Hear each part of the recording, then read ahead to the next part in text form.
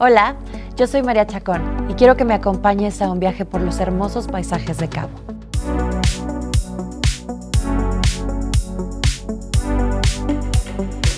Las playas de Cabo serán testigo de esta maravillosa historia de amor.